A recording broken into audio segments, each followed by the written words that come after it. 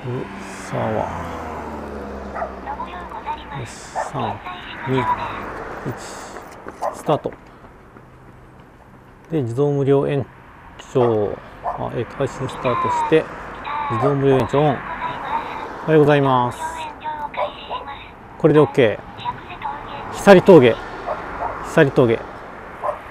今日はあっとあっとあっとあっとあっと危ない危ない危ないやっぱクリートはめたままじゃ危ないどう放送あまりやってないあまりやってない。一月ちょいは来ましたね前回の放送からは。危ない危ない。で加納さんとは昨日も走ってるんですけどね。昨日は兄さんという人のあのその送別ポータリングっていう形で送別だったかどうかいまいち分かんなかった分かんなかったけど。気温は10 13度かな。気温は13度。あ朝からずっと吠えられてますね。止まった場所が悪かったか。見えますか？あの犬。見えませんよね。えー、っとどこだ？こうこの辺りにいる。この辺りにいる吠えてますね。今日は暖かいですね。どっちの？えー、っと黒い人。あペイペペイさんいらっしゃいませ。兄さんは実家の方に戻られるそうです。よいしょ。ケーブルがケーブルがケーブルがよし。久々峠好きですよ私。何回言ったかなこれで。放送ではこれで3回目です。あのテスト放送を除けば初の配信やったのが光峠でした。あの時は渋沢からもうちょっと離れて右の6剤あたりから入ったんですよね。おおはようございます。うん昨日はあの普通に身身内っていう身内という言い方でもちょっとずれがあるけどまあ、昨日は仲間内でのポタリングだったんで今日もですね。おはようございます。例によって峠は電波ないんですけどね。あ小助さんおはようございます。昨日お疲れ様でした。うん。久留里町ああ自転車は上まで行けないんですよね。一応車両通行止めって書いてあったからそれに従いました。っていうか多分無理ですよねあれ。無理じゃないけどちょっとあれ厳しすぎ。エリートエライト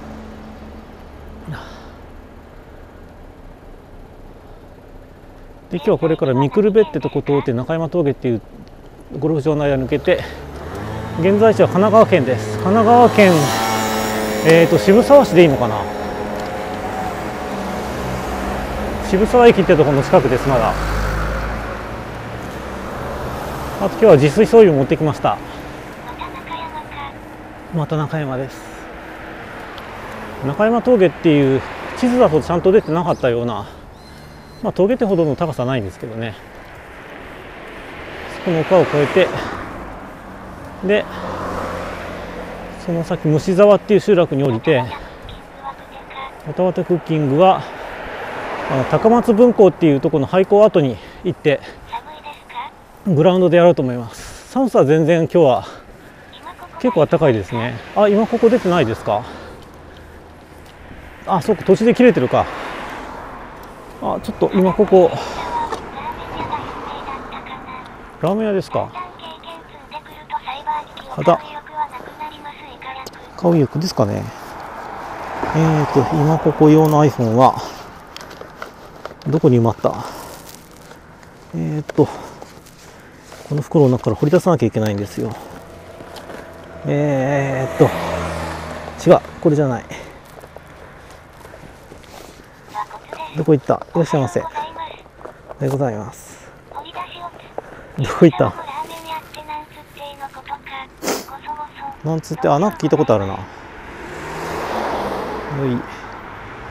バス停のへこみかと思ったらバス停ないんですよね。でえー、っとこれでよしこれで数秒後に今ここが今ここサーバーに場所が発信されます。よし。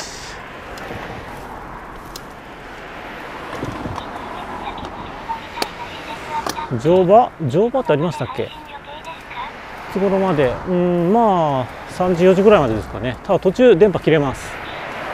峠のとこで。だだ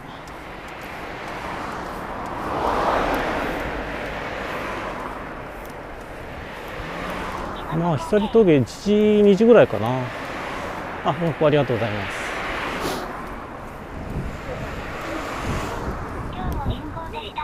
今日も輪行できました。ちなみに集合時間は9時。9時に集合してそこから材料の買い出ししてで100均に行ってボンベあのガスボンベ買ってでいろいろやってたらもうこの時間ですよ。2時間経ちました集合時間から。ほぼその間一方的に私は秦野さんを待たしてます。あよく大丈夫ですね。おう。はず。あれはりとあそうか読みをちゃんと書いてなかったな。しゃくりと書いてひさりって読むんですよ。なんでそういうのか知らないですけどね。あコーヒーも飲みます。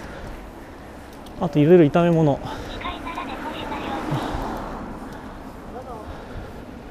一応予定ルートはあのワック説明のところに書いてます。あパスタパスタだけは持ってきたんですけど朝ごはんはさっき箱そば箱根そば食いました。今日は泊まりません。タイトルをご覧ください。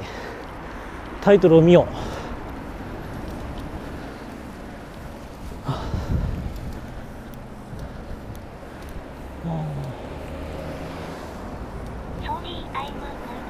ヌーブ。ヌーブはあれどういう意味なんですかね？臆病者とかそんな感じかな？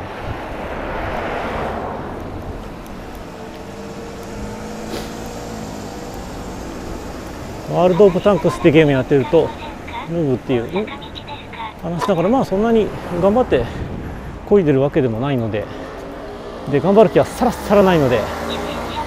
さらさら。ん？いらっしゃい。こんにちは。こんにちは。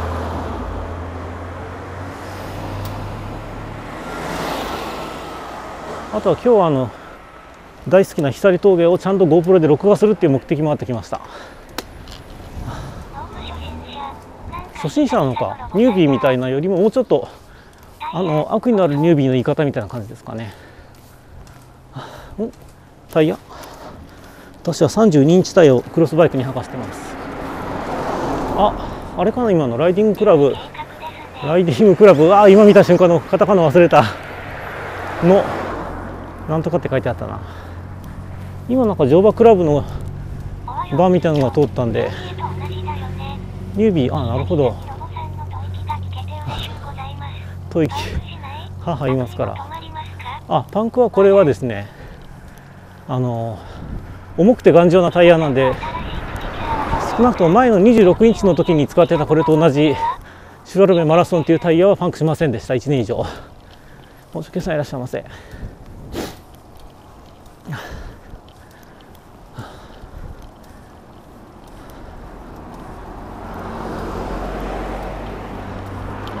途中中山峠も確か電波切れたんだったかな。あそっか放送ではあそこ行ってないからわからないか。そうパンクしないという評判なので。ノーパンクタイヤ。は何だっけ？中に何か入ってるやつでしたっけ？それはパンク防止剤か。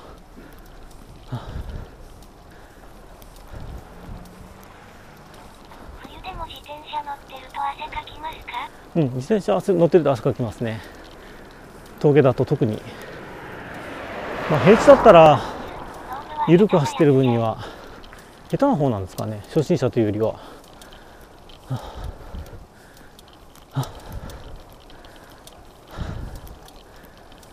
そのワールド・オブ・タンクスっていうオンラインゲームで後ろの方であの隠れてスナイプしようとしてると隠れてないで前に出ろって言われる時に使いますね。あでもやっぱ対象初心者なんですね。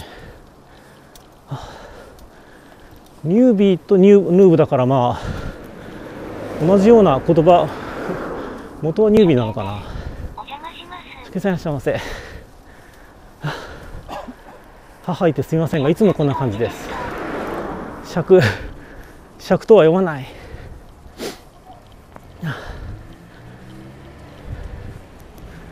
ふう。もうすぐ見くるべかな。そうだって母 えーと今着てるのは何だっけな。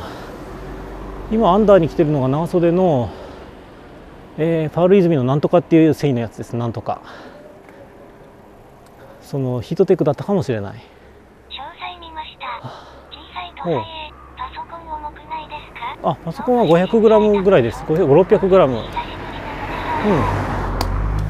うん。そう。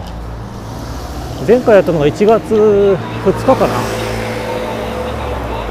水中カメラ水中カメラ配信私はできてないですね。前水中カメラ配信やってしかも自転車配信、メインだった人っていうのはあの丸さんって人がいますけどね。あの普通のウェブカメラにしっかり防水してあのホットボンドってやつでグルーガンってやつで目張りしてで沈めてましたね。おお。あその方のあの導電製の糸が張ってるやつですかね岡山のマロさんだったか。そうそう岡山岡山は正確に岡山になるのかな。32インチスピードはあえ乗るかどうかがわからないぐらいの走りをしてます。うん。バンチは持ってきてないです。初心者。初心者の中の下手な人ってことか。おなんかあの新潟の新潟でこういう景色見たことあるな。マロさん。キャンプしてたの。あのキャンプ場でなんだっけ管理棟に止めてもらったりしてましたよね。管理人さんのところに。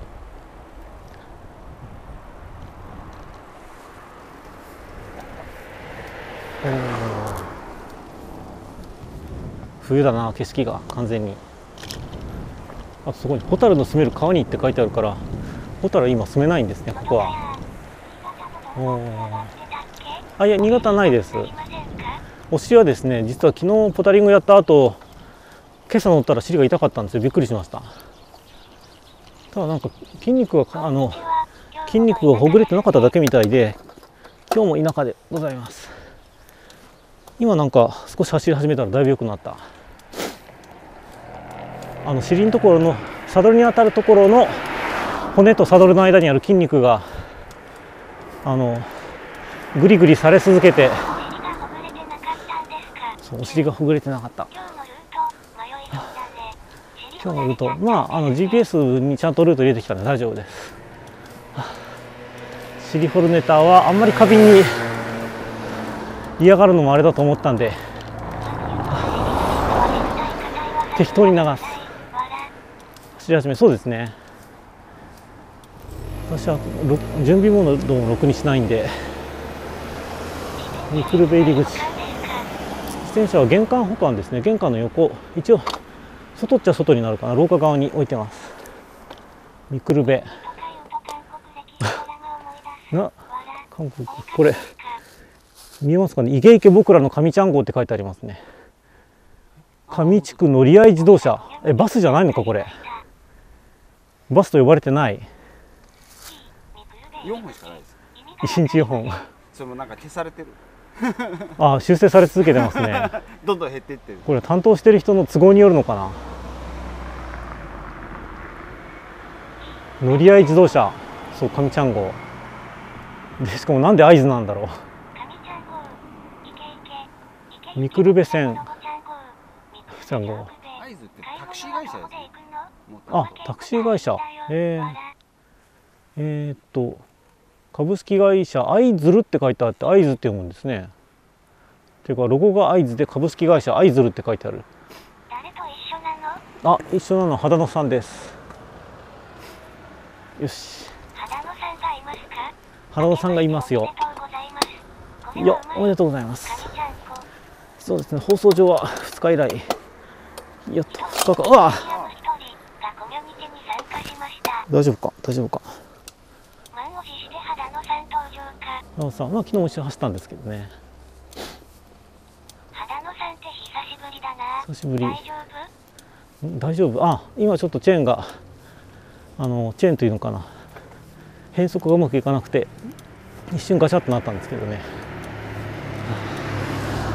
低速でトルクかけた状態で変速すると大体そうなりますね。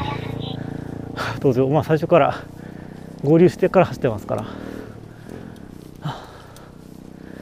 ミクルベこの辺りで一旦電波弱くなったような記憶がある。確かこの辺りいっぺん放送行ってたよな。配信かそう花田さんと一緒に走ってる配信です。はあ鎖峠電波が良くなったり多分してないだろうから今日も電波切れるはず。はあ相変わらず放送電波があるかどうかあまり気にせずに。原野さんは自走でまあ時間によりますよね。そう今日は。あ今日はあの来る時は輪行でしたね。久々の大体私はするというのにハーハー配信ですよ。ベルギース。なんとなくあのヒッチハイカーズガイドとかその辺りの匂いがするな。はあえーとこれはじゃああっち側見てから行きましょうか。例の。ステンレスアート見てから。あれ4個出してますけどねさっき。はあ消えてますか？肺活量どれくらいですか？肺活量えーと 750ml くらい。相場を知らずに言ってます。こあ出てますか？ここはずーっと前からあるって増えてるかなこれあ多分増えてるこれ。適当すぎ。適当すぎ。どんなもんですか？1リットル以上あるもんですかね普通は。見えるかな？久しぶり。あーどうだろう。10回は言われてないかな。多分増えてると思います。鶴は確か前見たよな。3リットルもあるんですか？肺の肺活量っていうのはこの辺知ってるよ老人ホームあるよ、ローチホームまあ地理的に言ってもありそうな感じではありますね。あの土地安そうだし。で車でちゃんと来れるところ。すぐに来れるところ。3000ある人はかなり信頼能力高い。人高いうん。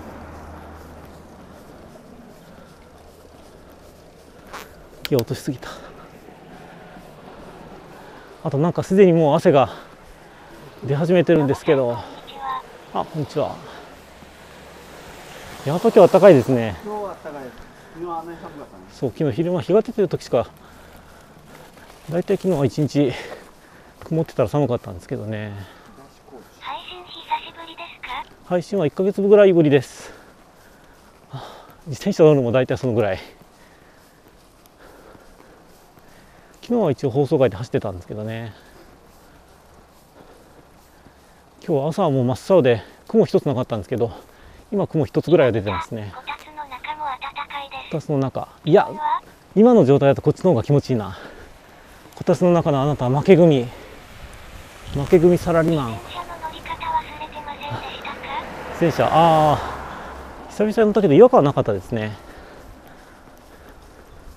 ただ一日ポタリングしただけで尻が痛くなるとは。まあ一過性のもんでしたけど。走り始めたらすぐに良くなった。雪の日には乗ってないですね今回。この冬は。その中布団の中のあなたの負け組。自走だとここまで来たらよかったのにそうでうん。まあでもそれだったらうん。いやいいいい。輪行問題なし。はあ。自走なし問題なし。自転車にスタッドレスタイヤとかないの？笑スタッドレス。あありますね。ネロさんがもしかして今放送してるんじゃなかったかな？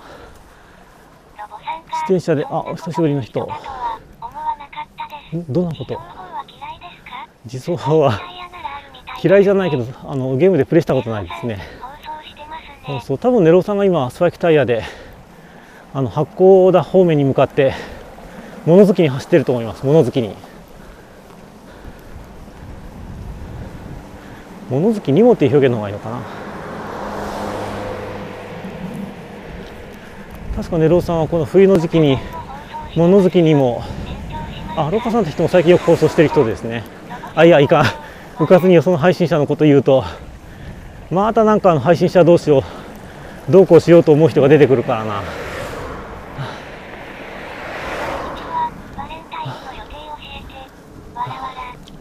バレンタインの予定。バレンタインはですねあのチョコレートを散々食うつもりですよ。もちろん送ってもらったチョコレート。自転車のチョコ。自転車のチョコ。やっぱ普通に自転車型ってことかな。自転車のフレームが削って入れてあったりしたやつですけどね。バレンタインそもそも世界的じゃないんですよバレンタインのチョコレートチョコレート風習は。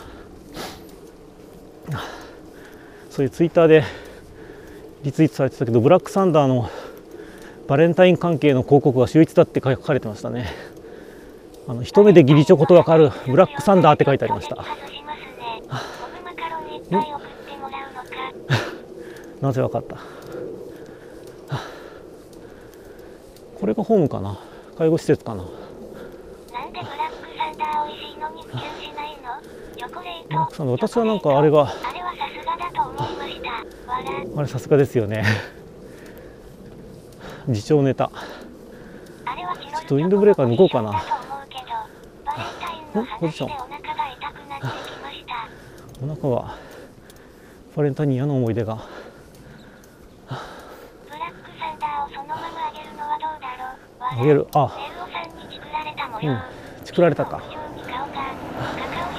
いといかん。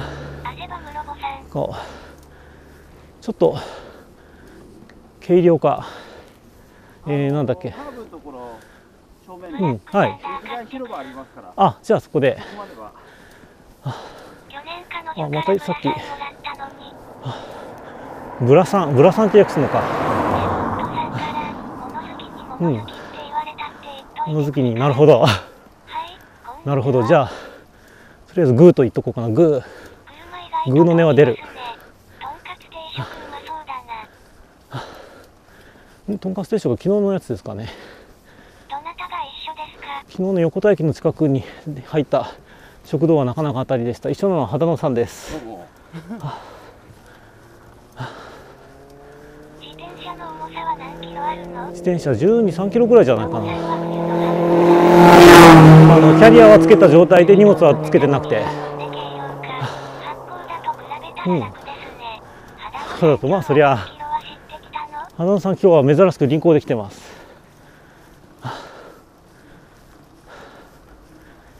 で私はなんか10分前に集合時間の10分前に渋沢駅に着いてで見えなかったからあじゃあ先にあのそばでも食っとこうと思って食ってたら実はもう先に着いてて組み立てられていたっていう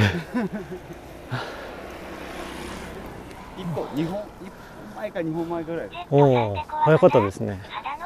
Z さんは今確かブルベ中ですよね。確かそう Z さんは昨日の昨日の夜に千葉県の袖ヶ浦を出発して今どこどこかしらを走ってるはずです。物好きにも。物好き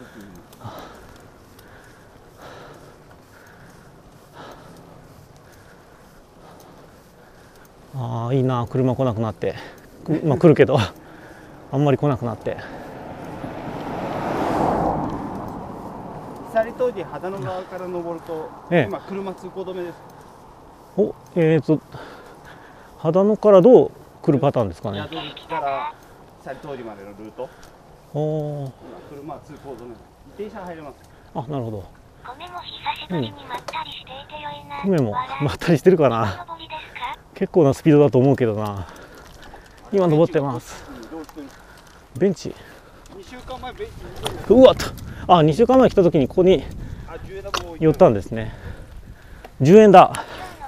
これ2週間ずっとこの上にあるってことですか？10円玉は知らないです。あなかったですか。ベンチがなぜかこっちに移動横浜からずっと走って横浜からずっと走ってきてないです。はあ暑ー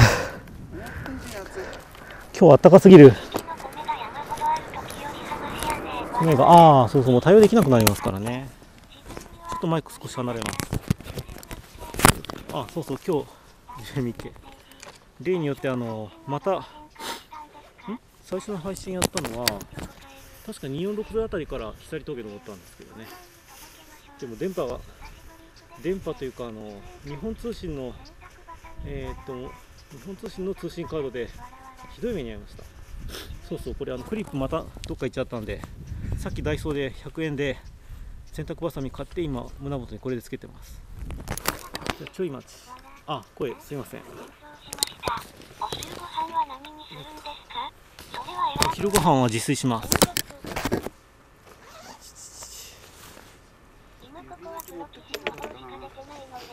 プロ棋士あそれは多分サーバー側の方ですね問題なのは YR YRP のび。乗馬クラブ多分クレインって名前のとこですね。クレイン。あの乗馬クラブめちゃくちゃ混んでます混んでる？混んでる前回行った時駐車場が溢れてましたけどああよし。そんな人気があるんだ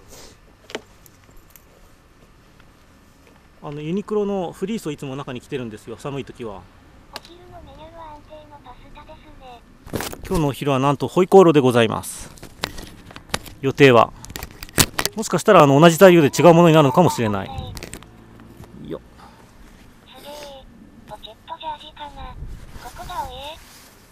これはあのサイクルベース朝日のや安めのジャージ。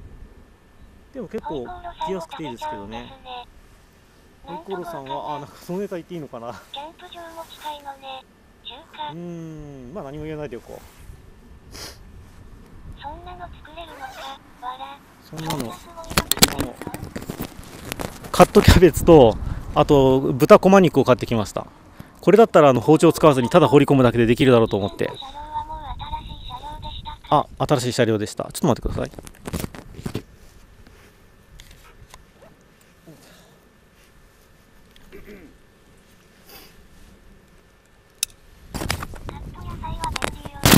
よし。カット野菜そうそう野菜高騰の折に便利なカット野菜よっていうふうにあのマックスバリューのそのカット野菜コーナーっていうのができてました。よっと。これでいけるかな。よし。今日も GoPro3 止まんなきゃいいけどな。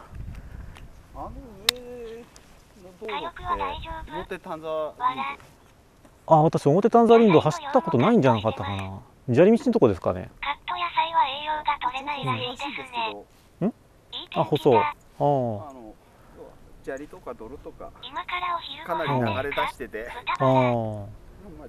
ロードでは無理。確かに最近の野菜高いわね。カット野菜って可愛いあそうそうなんだっけ野菜。えー、確か昨日新さんがなんて言ってましたっけ野菜が高い例として。あ白菜が4桁です。白菜が1000円台だったんですよ1000円ね台一玉が、っていうのがむか前にうん、去年だったかな。あ去年の話ですか。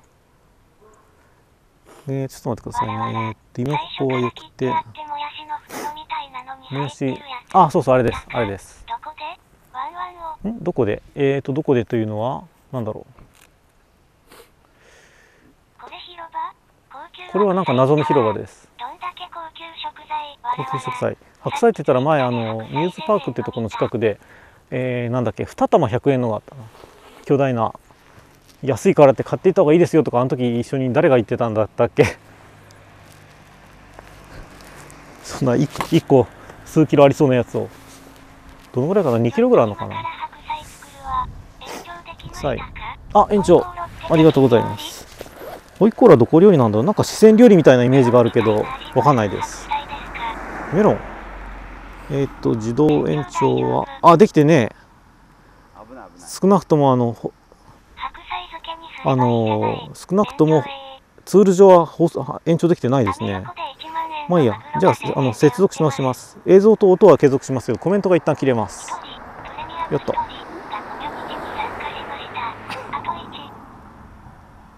あと1ですね。今再接続中です。私には今コメント見えてないですギリギリか残り3分くらいですえーとこれで残り時間の表示はあ延長できてる。OK ですね。なんで放送しなかったの？放送するするしない以前に自転車でどこ走るっていう気が起きなかったんですよ。どこ行ったら面白そうだなみたいなのが全然思い浮かばなくて。であの土日に入る時には金曜夜にまず夜えーっと朝4時5時ぐらいまで戦車ゲームやってで12時過ぎに目覚ますんだけどそこからまたあのさらに二度寝することも可能なんですよ。私私レベルになると。ででその日もまた土曜日の夜もまた翌日の朝4時5時ぐらいまで戦車ゲームやってですね。戦車ゲームの方が面白いです戦車ゲームの他にあとあのなんだっけクリーピンクリーピングワールドだったかな。あのなんかフラッシュゲームあるんですよというのとあと半分ぐらいはあの動画の編集やってますね。今やってるのはあのどこだっけ？千葉の林道を走った時の動画がもうできてて YouTube にアップ何度も何度も失敗して今2日分で動画8個アップしてるうちの1個がどうしても成功しなくて公開なかなかできないとこです。あと今 GoPro3 でこれ録画してるんですけどビデオカメラで小さいビデオカメラで。青空がまともに映んないんですよね。YouTube の広告剤ですよ YouTube ねのあ広告。あでも私はね YouTube の動画はですね収益化全部して基本的にしてないのでた多分あの広告は出ないはずです。で逆に不思議なのがあのほとんどの人の動画って広告オンになってますよね。収益化したってそんな儲かるわけでもないから見てもらう人にストレスを与えて逆に見なくなられる見見に来る人が減るリスクの方が高い気がするんだけどなよっぽどたくさんビュー数がないと。あどうしても広告が出る場合もあるんですかね、特にあの数秒間強制的にあの表示されてしまう、ええ。確かに。ん鹿島。あありがとうございます。鹿島からお笑いか。鹿島神宮の時ですね。GoPro えっ、とヨドバシのヘルメットに GoPro3 えっ、とこんなんだろう数字の1のことかな？GoPro1 よりはあの解像度的にですねむちゃくちゃ高精細に映るようになってます。そこはさすがなとこですね。で問題なのは色がなんか私のこの答えは変な色になることです。全体的に黄色っぽすぎるのと青空がですねあの RGB でいうところの 00FFFF の色になっちゃうんですよ。なんていうか青と緑がマックスになった感じの色。なんていうかあの異常に明るい水色みたいな感じですね。緑がかった水色みたいな感じの色になっちゃうんですよ青空が。青空だけ映してる部分には結構綺麗な青空に映るんですけど。で今今これダラダラ言ってるのこれ。後で YouTube 見る人のためだなほう。画質いやえっ、と解像度はむちゃくちゃ上がってると思います。私今これ1080っていう解像度で撮ってるんですけど。GoPro Hero 2の1080と比べたら全然違いますね。ん？あそうそう 4K で。乗り物。あ危ない危ない。フリース置いていくとこだった。そうあのテレビでも最近この間も確かですね何だったかな。えー、何で見たんだったっけ？あのヒーロー2あでもヒーロー2は今のところ安定してていいですね。ヒーロー3はまだ不安定なところ多いです。あと YouTube にアップしたらあんまり解像度はあの解像度あんまり変わらんかもしれない。あテント大丈夫です。持ってきてないから。さて十分ゆっくりしたかな。あちょっと水。この調理用の水なんですけど。ソニーの。ソニーのやつはまあこの GoPro も形はあまり良くないけど形的に一番いいのはやっぱコンツアーですね。あれが一番ヘルメットにつけててあの違和感はなくはないけどまあ一番かっこいいのはあれですよね。10円忘れてるっていうかあえて置いていくんです。10円はあえて誰かが置いてるだけかもしれないし。えっと10円だとチロルチョコは今買えないか。チロルチョコは今20円でしたかね？30円でしたかね？昔はチロルチョコは大金を表す時に重宝してたのに。1億円って言ったらチロルチョコ1000万個分じゃないですかとか言えたのにうん。罠。そうですね。ブービーな感じで。ブービートラップ。10円。見えない見えない。ん？ソーラあ。ソーラーパネルか。あの iPhone 用とかだったらソーラーパネルもかなりいいかもしれないですね。今の今使ってるレベルのパソコンを動かすにはまだ足りないけど、はあ、パソコンの方がもっと省電力ならなきゃてかあそうか切手買いますね確かに。でも買うっていうか まあ買うか買うか。さてここから中山峠。途端後ろの扉？あトラップで。時が。10円ダイナモ。あそうハブラハブライラモじゃない。ハブダイナモも欲しいの欲しいですね。そうゴルフ場に向かって登ってます。ゴルフ場の中に峠今から行く中山峠っていうのがあって10円から一口か。中山峠ってロボさんの住んでるところあれかのレンゲ1個メニューみたいな感じで。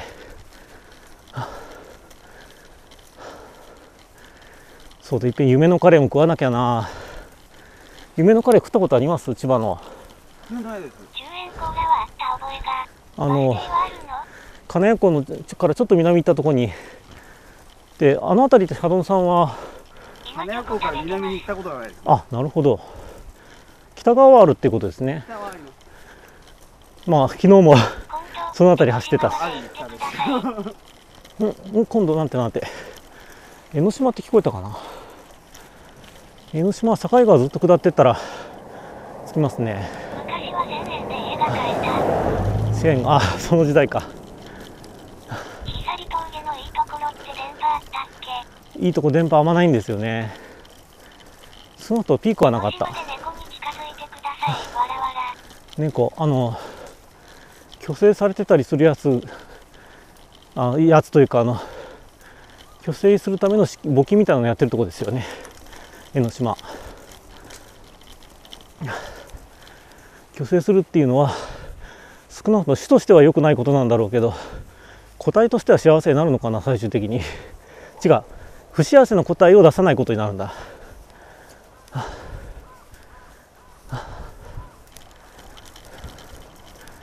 それのどっちが重たいのか。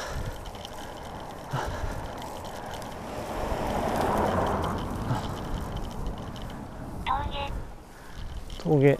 えっ、と中山峠までまだしばらくありますね。車結構来るな。おお映ってるかな。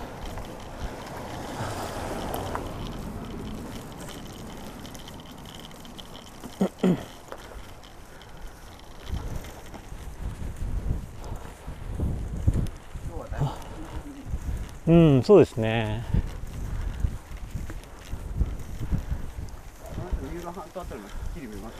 おお自転車だ。こんにちは。漁船したら自転車乗りやすくなりますか、自転車。ああどうだろうあの切り取ったら確かに乗りたくなるかあ乗りた乗りやすくなるかも。いや最近何もしてなかっただけです。動画編集ぐらいかな。映像来てますかね。えーとあれ渋沢市街になるんですかねあの辺りの。ぶただのです。ねあだ名ですか。いい眺めですねなかなかいい眺めですね。で多分向こうの方矢櫃峠は菜の花台見えてるのかな。ゲームかなり。こんにちは今は神奈川県の丹沢方面の、えーまあちょっと山山っぽいあたりにいます。やや山っぽいあたり。梅これどうだろう？これは？あれ？これ桜の花か。ですよねこの木の感じ。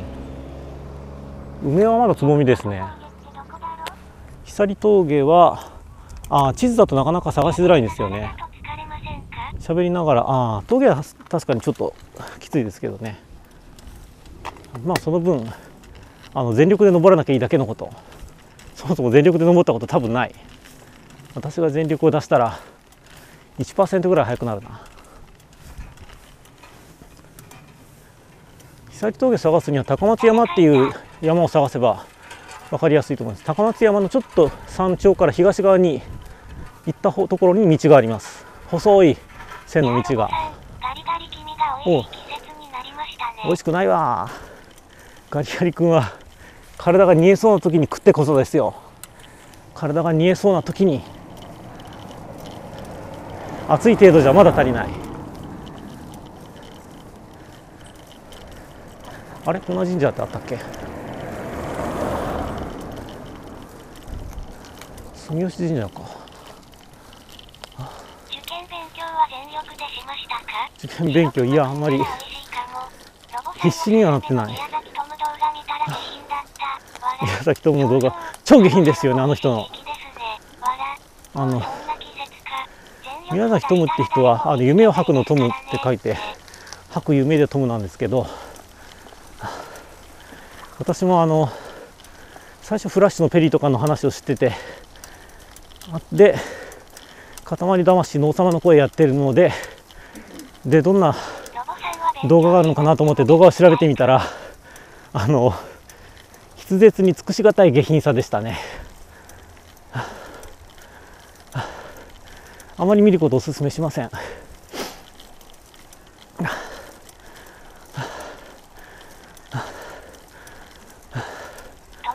のお気に入り。バクバクって誰だっけ？大和田バクさんか。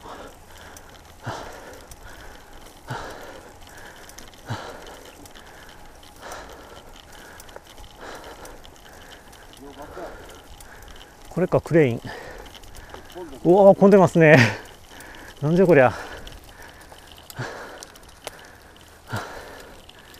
電波弱いっぽいかなやっぱり、電波、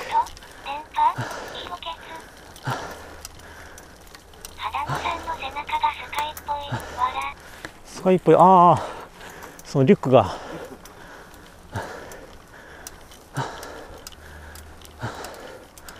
すごいな。おっ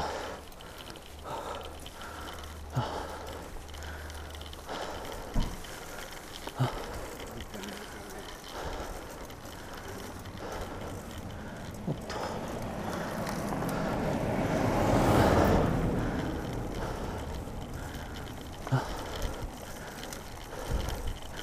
西沢まで下って間に合うかな。次の。のか橋あの延長まで。電波弱いのか。電波弱いですねやっぱ。まあそうだろうとは思ってたけど。確かここもいっぺん配信で撮ったんじゃなかったかな。え去年。えーっとあのと戸川公園のとこですかね。の時ですかねあれ去年だったかなおととととしだったかな。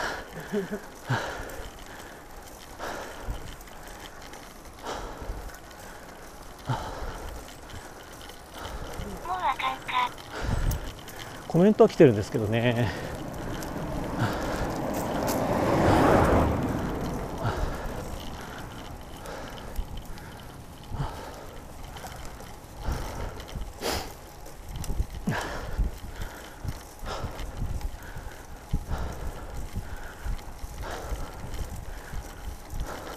これはもうダメかもわからんね。ダメっぽいか。手話で。手話でやったらまた問題ありそうだな。どんな手話になるか大体想像できてしまう。あ通常発信で。えー、どうしようかな。一旦切れるとまあいいか。ちょっとあの配信配信リセットしますよっと厳しいみたいですね。あと FMLE が止まってるだけかも。ああではないな。単純に上り速度が出てないっぽいな。じゃあ通常配信にしてみます。というのもいかないな。そこゴルフ場なんでやっぱゴルフ場でも結構ないですねあどいた。通常配信にしてみます。あ、またこれか。ゴルフが混んでるだと。よっと。今のところゴルフじゃなくて、あ、320、240だ。えーと、まあいいか、これで。解像度でも低いな。こっちでしょ、やっぱり512。通常配信。これで。えーっと、維新を見せた。こんなもんかな。あうーん、あ、上り速度十分出てるじゃないか。えーと、でもこの後 FML にしたらまた問題ありそうだな。じゃあこれでいきます。コマ数だいぶ落ちますが、これで。へい。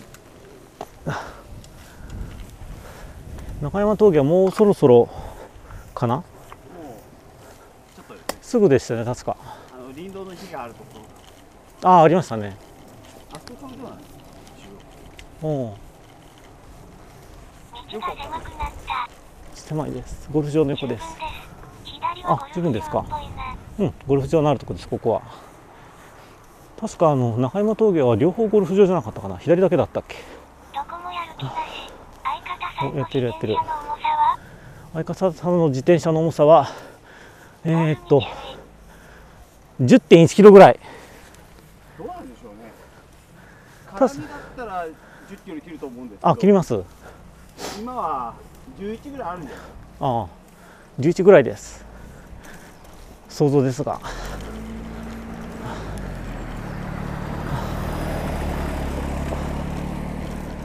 飛んでくるの。ん？飛んでくる？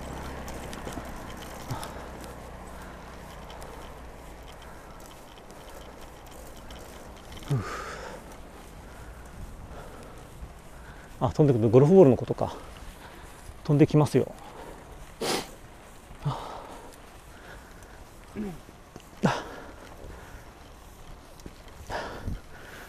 さて GoPro が止まってないかどうかちょくちょくチェック。そんなにまあロードバイクですからね。えー、っとまた片目忘れた。何 CR でしたっけそれは。CR FCR のに。2 CR しか覚えてないおっとここですかね。ここは中山峠付近。これ土佐原林道って書いてあるんですね。土佐原林道記念碑。一旦向こうに抜けたらまた電波あるはずなんですけどね。ヘディングか。ここ。奥地。あ奥地リアルファーを。したん？リアル？えあの OB 仕掛けたから、ええ。隣の方に入りそうになって。ええ。ファー。ファファーって4番さんだから多分4番コースの人は危ないってことだと思うんですよね。ああなるほど。そのコースの名前を言ってそこの人気をつけるってことですか。そっち飛んだぞっていう。へえ。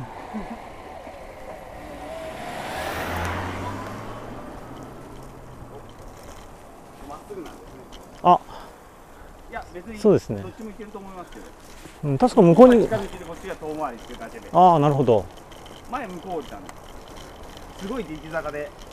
ああなんかちょっとあのーなんだっけ。宿か何かがあるあるようなとこでしたっけ。いや。違いましたっけ。何か建物があった記憶が。こっちの話だったかな。ちょっと覚えてないです。あのゴルフ場の中突っ切るコー。スああフォーフォーみたいですね4番コースの人気をつけろっていう。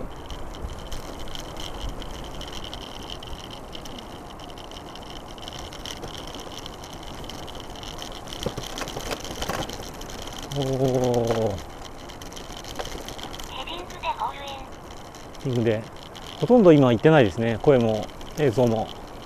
あるいは声だけかな。お化けが出そうなとこ。お化け。私お化けは見えないから大丈夫たとえいたとしても見えないから大丈夫。あれ？こんなんあったっけ？結構綺麗な水場ですね。ゴルフボール。まだ当たった当たったことがないな。あコップあります本当だ。つまり飲めるという。コップというかひしゃくあコップも一緒ありますね。あここで補給しててもよかったな。どどっちしろペットボトルがなかったけど。ええ。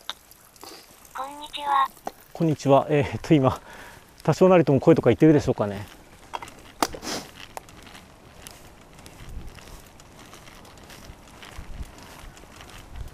映像来てます。あ、映像来てますか。ああ。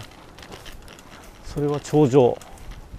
山の北町はお茶が名産だっけ？山北山北町ってありましたっけ？あ、カクカク。じゃあ切れ切れはしなかったのか。この辺りは確か前電波がなかったんですよ。確か。水場の絵が来てるね。あ水場来ました。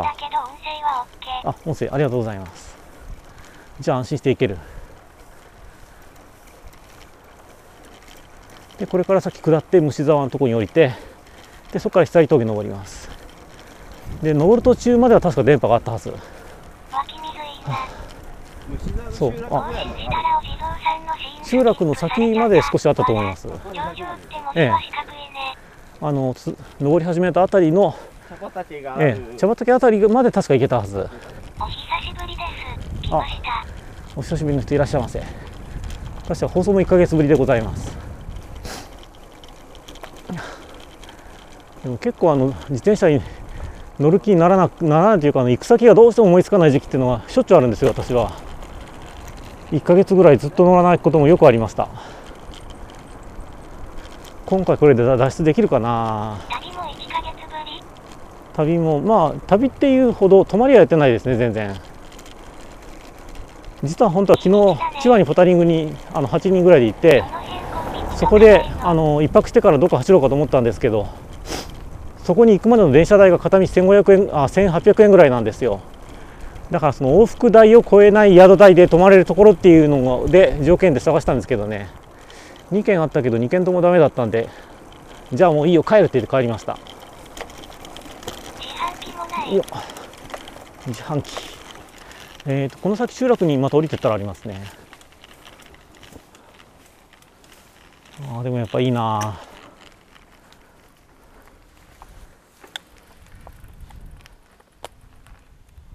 ここでコンビニやってもタヌキしかあーそうですね。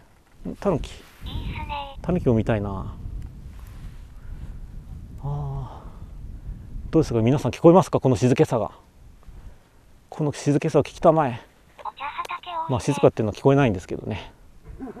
僕の3日分うん茶のお畑菓子代だ1500円。お菓子代1日500円食ってるのかお菓子だけで。花粉症あーっとなんだっけ？あ。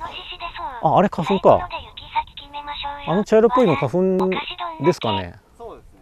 あれはか枯れ葉なんじゃなくて。そろそろ行くぞって感じですよね。ほもうなんかもっさりたわわに実ってるんですかね。この辺はイノシシ料理ああジャイアント気を燃やしておいてください静かなる逆絶そう。注がないですね。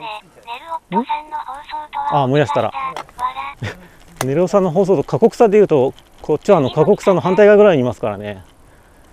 まあでも完全に自転車乗らない人から比べれば多少過酷に見えるのかもしれない。あの坂道登ってるだけで。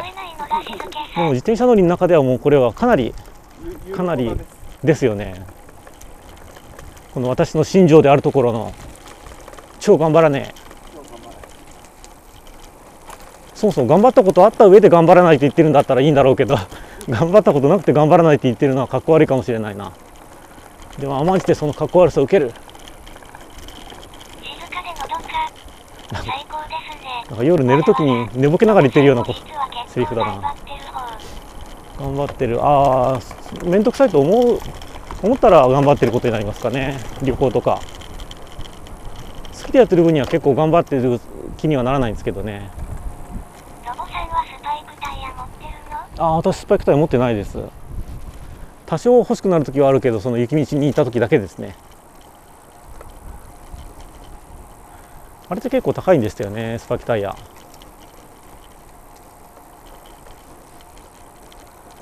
あと種類的に2種類ぐらいしかないんじゃなかったっけ？もっとあるのかな？スタッドレスはどういう仕組みなんでしたっけ？秒がついてないってことですねスタッドレスあいいよと逆逆説。これからの日本は頑張らないのだでろこれからのあれですかねあのえっ、とか過労過労じゃないようにするわけですね。アンチ過労。ゆとり。ゆとり。そうそうゆとり。ゆとりビジネス。いや違うな。ん何持ってる？戦車ゲームはですねあのちょっとでも敵にあの追い詰められそうになるとすぐに敵側に突っ込んでしまって一瞬で死ぬっていうのをいつも繰り返してます。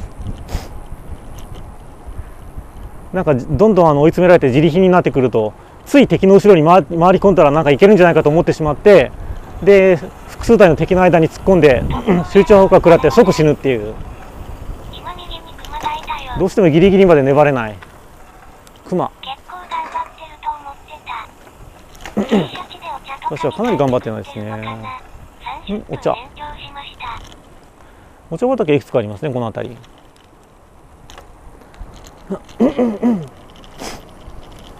で今日のあの配信的なハイライトの自炊配信は多分えっ、と今12時か。えっ、と1時か1時半か2時ぐらいかな。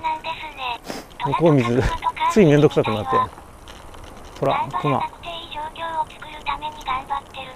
頑張ってますかねどのどの辺りがああさすがに下り寒いな。自炊はやるんですね。うん、今日は自炊やります。時間的に余裕があるだろうと思って、私は戦車は、えっ、と A20、T34、あのその間に何かあったっけ ?A20、T34、前は T3476 って表記だったのが、最近 T34 だけになってますね。で、T3485 で T44、あ、違う違う、T43 で今 T44。戦車がおすすめですかどんな戦車？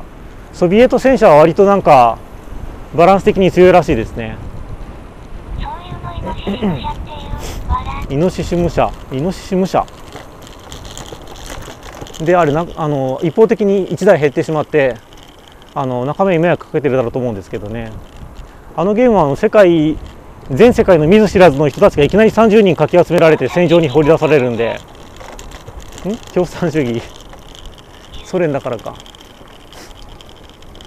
私は T34 が好きなのは単にあの最初に戦車にはまったゲームから入ったんですけどパンツァーフロントっていうゲームで T34 が使いやすくて強かったからです。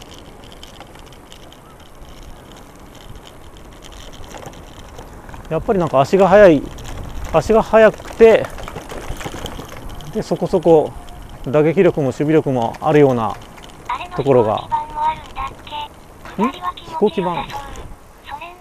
お出てきた。ソ連戦車はゲームバランス的にもともとなんかあのその戦車ゲーム出してるところってあのロシアの中なので。ん？えーっとそうですね。あそっか。予定ルートより1本北側で来てしまったの結局。予定ルートさっきのとこ左のところに入っていくルートを作ってたんですね私は。現状近道ルートです。さあ砂漠戦か。一応砂漠のマップありますよただそんなに広くないですマップ自体は。いやそこそこ広いか。下を噛まないようにします。何の話？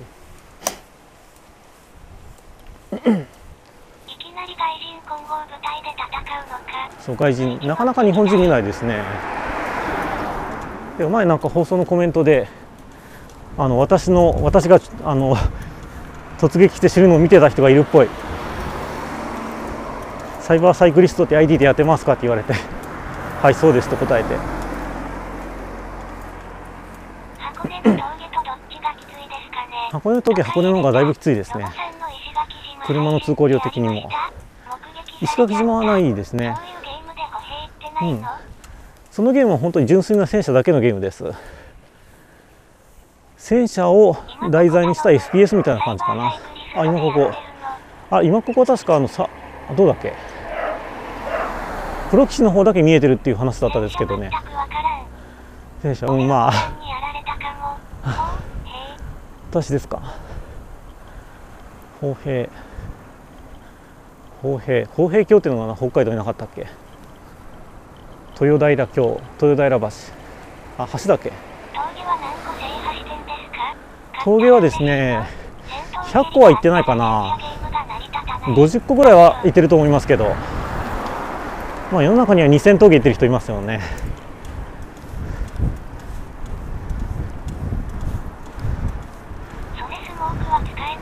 スモークは使えないです。その代わりあのある程度距離があったり茂みの中に隠れてたりするとあの敵に見つかってる見つかってないっていうのはデジタルに1か0なんで敵から全く見えなくなります隠れてると。あ隠れるパラメータがそう敵の視認値とか視認距離とかを外れ外れていてで隠蔽率が高い状態にあれば。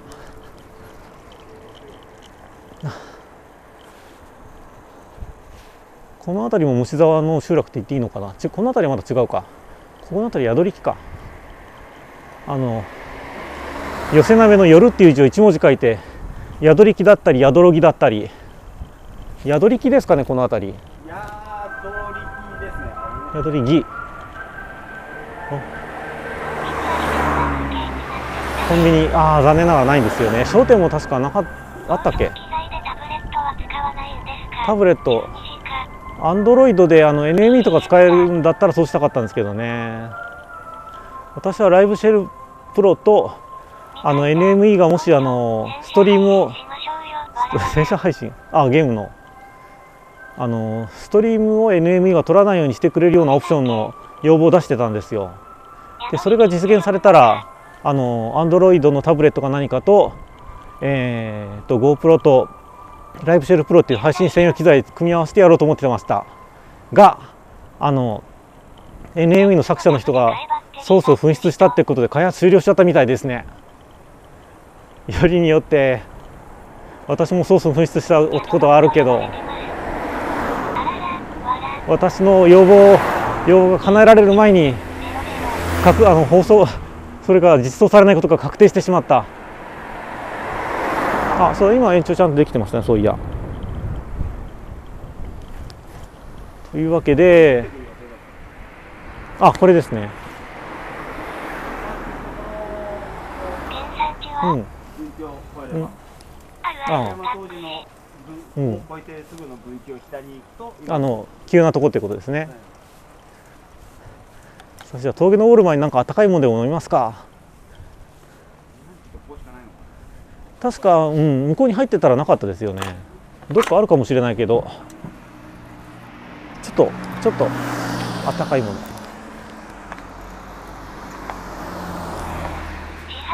今下りで少し冷えたんで自販機です。最近抜いてますか？それはなんかエロい意味で言ってますか？まあそれをお察しください。よいしょ。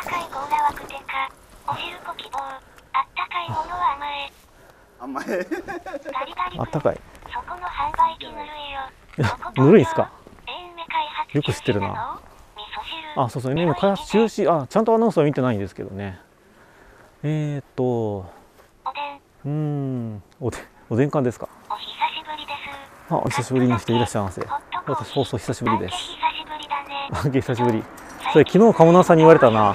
あの迷いなくなっそう。自販機の自販機でアンケートいつもあのお！あこれデジタル表示？見たとこなんか印刷してあるようにしか見えないけど。えー、こんなくっきりしてるんだへー。駅構内とかにある自販機たまに全面液晶ってありますねあれ初めて見た時驚いたうん。えー、っとちょっとこちゃんとコメント聞いてなくてすみません。どれですかな？あ。コーヒーぐらいしかないそうですね。じゃあこのミルクマイルド。フレンチロースト。なんかフレンチフレンチトーストっぽいから。明日は2倍になりますよ。追加使え2倍に。ないのポイントカードポイントカード。あそうかしまった。今点滅するの点滅するの映すの忘れてた。これが点滅したんでびっくりしたんですよ。アンケシ用図アンケしねが出てきますよ。うに追加で買えるんでしょ午後も頑張ってください。午後も自販機が喋った自販機あの関西弁で喋るやつがあってちょっとイラっときますねあれ。なんでなんでこっちで関西弁使ってわざわざ放送あの関西弁であしまった無意味な。これ多分あのパッとあしまった。ゴミ箱がない自販機だった。がっかり。どうせないならあの分断の先で見ま一回行きません？ん？あ決していいですよ。あじゃあ。これならその日の気分で値段が変えられる、そうそう値段変えられるんですよね。スイカで。あれスイカ使えるやつかな？私は駅だと駅でジュース買うときはいつもあのスイカ使ってますけどねおどうかな？ゴミ箱はタヌキがいたずらするのかな？タヌキ。この自販機はバレンタインデーじっと見てるにじっと見てる。軸が入ってる。最新型自販機か。缶コーヒー。直です。追加で結婚できあ本当だ。お釣りに外国のでそこもなんかゴミ箱ないですね。ゴミ箱置けよ。青森県かよここは。今度青森県行ったら全然自販機にあのゴミ箱ついてなかなくて止まりません。タイトル読めタイトル読め。印刷のやつでも上からシール貼って値段ある。おお吠えないワンコは印刷。ただのワンコ。ここはどこですか？ちょっと。消防団。なんかあのなんだっけ？なんかこういう俳優の人いますよね外人で。なんだっけ？レオンの人じゃなくて。なんだっけ？トイカ。トイカは東海ですよね。目がなんか微妙な何とも言えないあの苦労を味わった感じの人の顔してましたよね苦労を感じさせる悲しげなケントデリカット。でそんな顔してたっけ？よしじゃあこの景色を背景にしながら缶コーヒーえー、っと缶コーヒーの人あれですかねあのなんとかなんとかかんとか。かスミス目的には確かに似てるかな。私が想像したらなんなんかの外人俳優なんですけどね。そう M コーヒー。ミルクマイルド。トミー・リー・ジョーンズ。あトミー・リー・ジョーンズ。スミスじゃないか。スミスって役名でしたっけ？メインブラックの。ああかな？エージェント・スミス。あエージェント・スミスだったかな。忘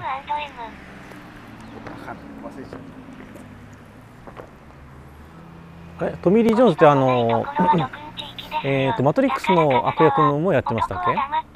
あれ違う大道なんだ。たあのメインブラックバッのトマンかなんかなウィルスミスは相方あバットマンの。あー。覚えてないです。バットマンのどれか。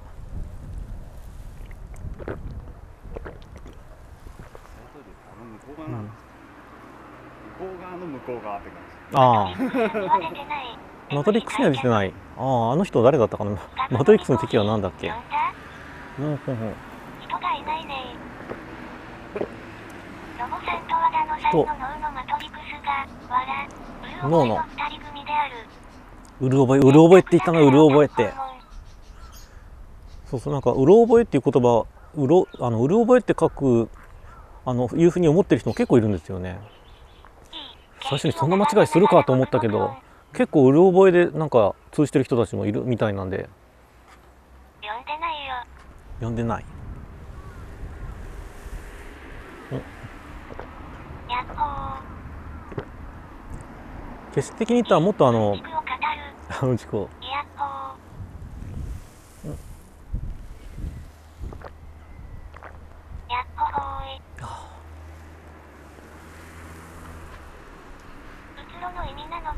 知らなかった。うつろあでもうろ覚えのうろがどうなんだろうなただうろって言葉だとあの木の木に開いてる穴とかのイメージですけどねこんなところに住みたくない。登ってまだまだ登ってません。あの家が売りに出ていない今今一遍登ってきたけどまだほん本当のとこじゃない。まだ嘘のところ。ウォーミングアップが終わったここでイノシシの死そうですね。体は田舎の広報無線機やおもちアニメはお餅のうんちくが全くないね、おもちゃアニメそうそう私あのおもちゃアニメ見ましたよ。あの放送でコメあの放送上のコメントで私餅が好物なんですけどあのお餅屋さんの何が分かればそれでよしお餅屋さんのアニメ今度やってますよっていうふうに聞いてたあの思ってたんだけどそうじゃなくて始まるって意味だったんですね。で突然なんかあのそういうお餅アニメがあのやってるって聞いてたなっていうのをコメント聞いてから一月ぐらい経って思い出してで調べてみたらその日のその日から放送開始だったんですよ。そう。たまこマーケットっていうお餅屋の娘のアニメがあって見てみたらお餅的な要素はあんまり強くないんですね。あのグーグーガモみたいなのが出てた。おおい。あれは見るかひでえな。あれはなるわけがないあれはなんかあの日常生活的なネタなのかな。あいやあれかな。鳥が鳥が主人公なのか。あの私はあのツイッターで書いたんですけどあの餅屋の娘が自分あの自分家のそのえ経営を立て直すためにあの全国餅た餅餅料理大会に出てあのミスター味っ子みたいな戦いを繰り返しながらであの味王みたいな人が出てきて味王だっけあの人。そうそう。あのうまいぞとか言っててあのお城壊したり天守閣から顔出したりするようなアニメかと思ったらそうではなかった。グーガンも夏いわらその想像はグーグーガンもあの想像あれは鳥アニメでしょ花女郎道こんなのあったっけ名前。なんだろうなどう書く花城なんだろう。んもちくらえ？ーともちくらってどれだったっけ？幼なじみの男の方でしたっけ？いやあの本当1話しか見てなくて。さ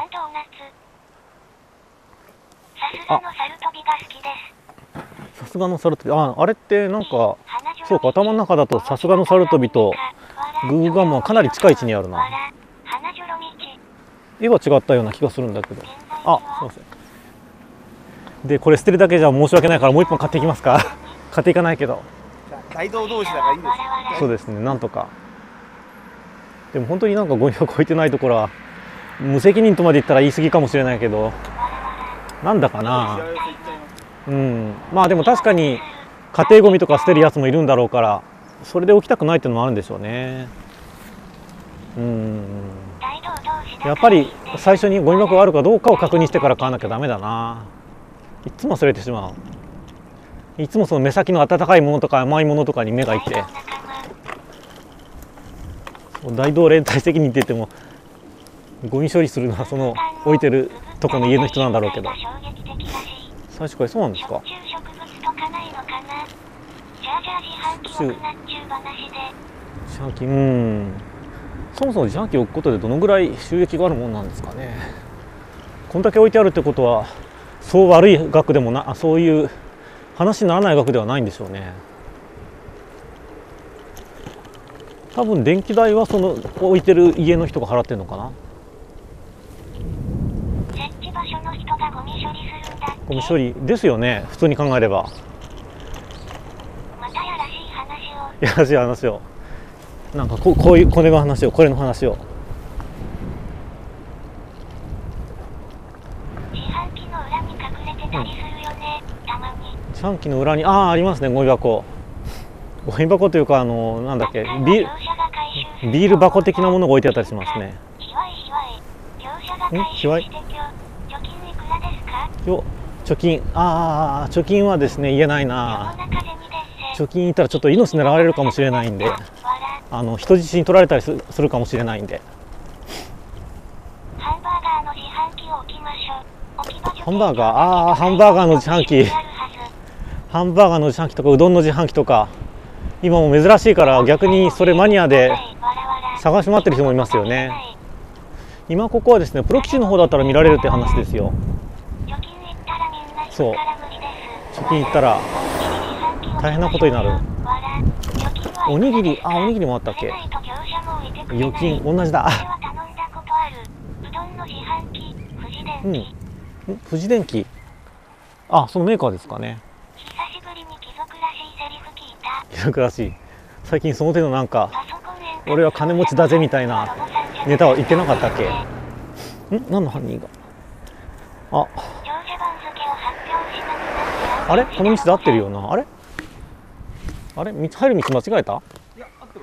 ですよね。これ道まっすぐとあのサーカスのあれがあってゲゲなんとか芸学校みたいなのがありますよね。あ予定ルート思いっきり間違えてる。でも向こう側の道もあるのか。無駄に登るかな？リアルな話。これのこれの。10億円以上なければ問題ない10億円以上なければ本当ですか？10億円かあったっけ？白い建物はサテアンっぽい。ISO 9001白い建物。あああでも芸学校この先だったっけ？なんかこんな坂あったっけ？リスナーを煽るのやめてください。リスナー？いや合ってないですよ。合ってないですよ。ロボさんには負けてるよ。ね？今のねは何？でも川沿いだよな。おおアオサギアオサギなければ男じゃないよね。5億以上ですよね。5億からですよね。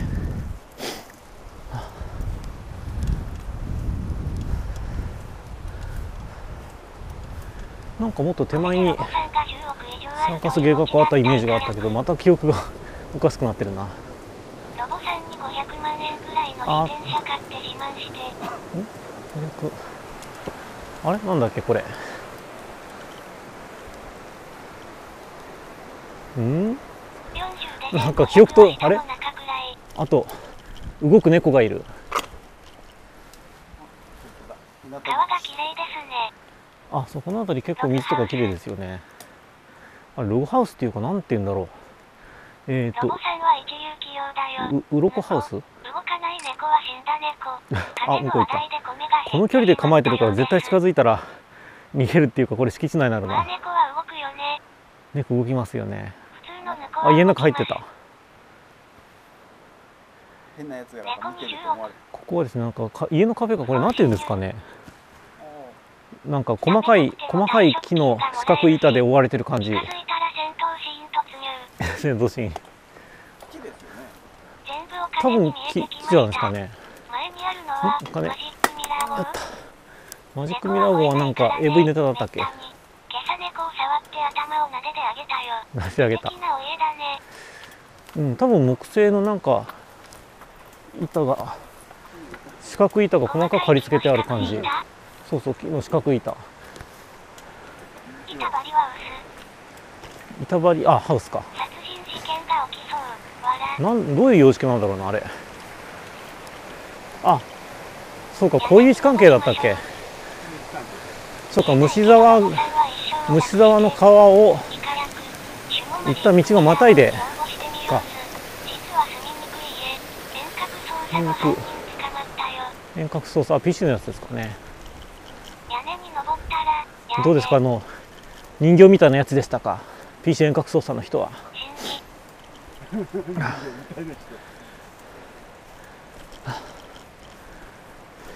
そうか。PC 使いっていうんだったら PC みたいなやつってことになるのかなそのネタももういい加減古いのかな。遠隔操作のやつはデブだった。デブだったのか。823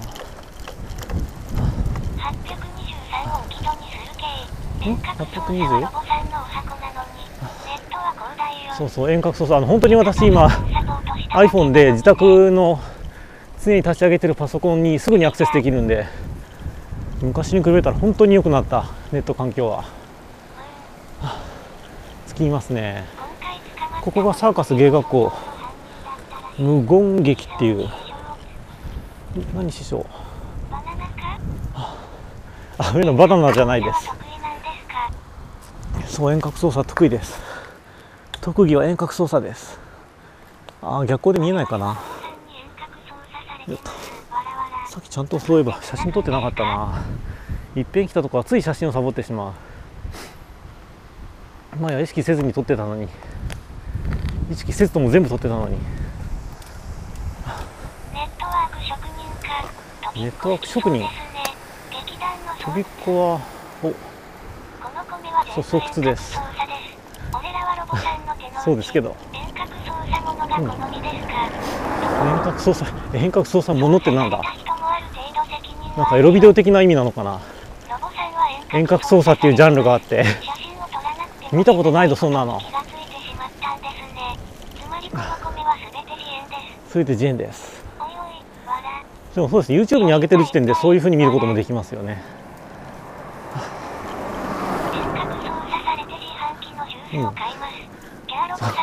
そうそうアンケートとか。アンケートとかやるとそうですね。でもまああのニコ生のスタイルとして遠隔操作してもらいながらあの外配信するっていうのもありですよね。私はなんか割と一方通行的な配信を想定してるんですけど。ん YouTube が何になりました？あそうだ最近 YouTube もライブやってますよね。ライブライブシステム導入してますよね。YouTube ライブだったっけ？あれどうなのかな？ユーストアのコメント読み上げとかは想定してないシステムでそれ以外のところはいいんですけどね。遠隔操作。ロボさんを米で遠隔操作できるんですね。そう米で遠隔操作。私はあのニコ生外配信の基準で言うとかなり言うこと聞かない部類だと思います。これは何だろう？YouTube ライブだったかな？あこんなとこあったんだ。あくぶあ AKB のここにパン屋さんがあるんだけどまだ一遍も食えたことがない。結構どうやら予約がいるらしいです。えーとどどれだっけ？それだったら逆に操作できますよね。そっかこの辺りにパン屋さんがあって。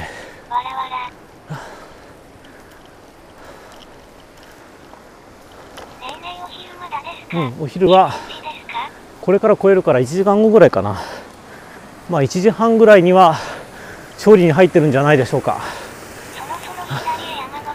うんそうそうですね。ようやく。今のわざとか。ガリガリの話はするな。ガリガリ。ガリガリ。あ。お。これも2週間前からこれですかあでもこの看板は見なかったです。土砂崩れのため山北方面への通り抜けができません徒歩は通れます自転車は微妙なんだ。土砂崩れ。期間注意。でもこここは土砂崩れって。過去に見たことなかったな土砂崩れ。なんだ。右側に行ったら何峠って書いてあるんですかね。林道肌の峠か。なるほど。そうそうあれ肌の峠じゃなくて正確に言うと林道肌の線のピークってだけですよね。あ肌の峠線か。撤去してそうですね。道不審歩けるなら行けるなうん多分大丈夫だと思います。ミラー？なぜミラー？この先の虫沢公民館今なんて名前だったかな？公民館まで電波あってその先のお茶畑登り始めるあたりまで電波がある。もう電波がある。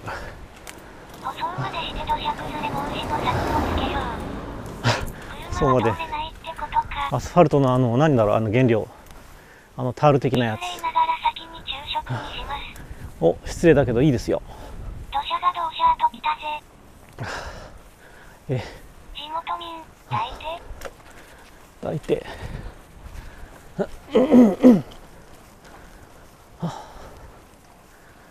久里峠来たのはどんぐらいぶりかな。久里峠は前回来たのがもう2年ぐらい前じゃないかな。昼飯。ホイコーローを食べます。作って食べます。カットキャベツと豚こまパックを使ってあとクックドゥを買ってきたのでクックドゥ。あなんかやってる今日は。なんかよりがやってますね。でここはあの住所がうしようもねえな土砂崩れなんて数年撤去されないよね虫沢地域集会施設の中で今なんかやってますね。ででこここはあの住所がえーなんだっけ？松田松田町かな？松田市かな？松田町。松田町虫沢643 64ん？6430だったか6438だったかなんですよ。あの前 この電話ボックスにそう住所が書いてあって虫沢と読めるっていうネタがあったけどボックスが変わってしまってもう表示が消えてしまった。あこんにちは。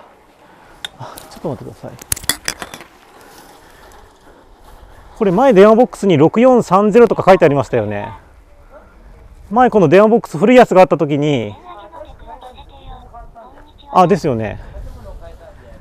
前ここの住所がそのろ虫沢って読める数字だったと思って。6430だったか6438だったかであの住,、ええ、あの住所が書いてあった番号が4桁が虫沢って読める数字だったんですよ。ええ、そうそう前あの来た時にあ変わってるって思って一回やめようとしたんですよ。そしたらえ。地震があったじゃないですか。ええ。3.11ええ。あの時ほら携帯が繋がらないとかいろんなあでそので通信は連絡できるようにってことですか？そうです。一あ回ー。取り付けるなかったんですけど。あなるほど。あそのこれをこあの改築するときに。そうです。で、電波が入らなくなる可能性があったら、あそう倒れたらっていうことですね。携帯みんな持ってますけど今えそういうのも必要だろう。んほとんど使ってないです。緊急時をそうボックス自体今街中でも使われてないですからね全然ですから。ですねそうこれ今あのインターネットであのフォーマの電波使って放送しながら来てたんですよ今こっちが映してますけどで前来た時に2年ぐらい前にここに来て虫沢って読めるボックスがあるんですよって見せようとしたらなくなってて数字がですよねで今日またこれで 見せながら来てます。今日はなんか普通に寄り合いされてるんですかね？お見事だったのか。ねえ。あなるほど、お疲れ様です。すみません。ちょっと。あのそこに座ってる人がいたので今ちらっと映ってますけどあの人ですね。